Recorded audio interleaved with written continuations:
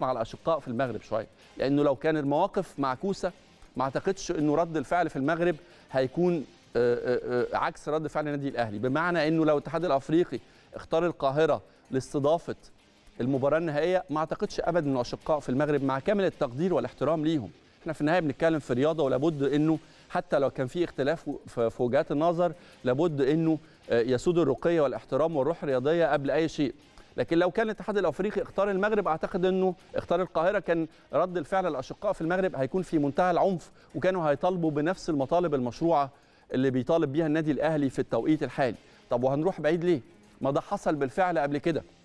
وحضراتكم لو تتذكروا السوبر قبل اللي فات النسخة قبل اللي فاتت النسخة اللي قابلنا فيها نهضة بركان.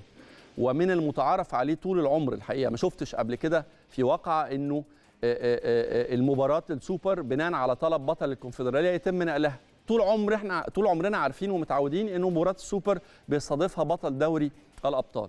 ومع اعتراض نهضة بركان على إقامة السوبر في القاهرة قبل الاتحاد الأفريقي هذا الاعتراض وبالفعل أخذ قرار بنقل مباراة السوبر بين الأهلي ونهضة بركان اللي استضافتها دولة قطر.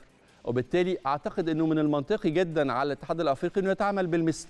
والكلام عن استعداد دولة آه، آه، آه، لاستضافة الحدث ما أعتقدش ابدا إنه ممكن يكون عائق وكثير من الدول الأفريقية تتمنى إنها. ومجهزة وقادرة على استضافة حدث بمثل هذا النوع.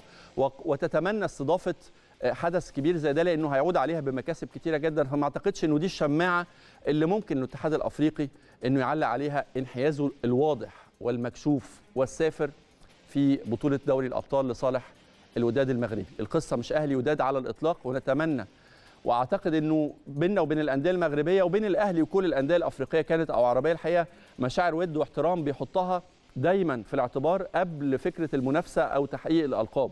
يهمنا إنه ده يحصل ودي مدرسة ومبادئ النادي الأهلي وفلسفته دايما في التعامل.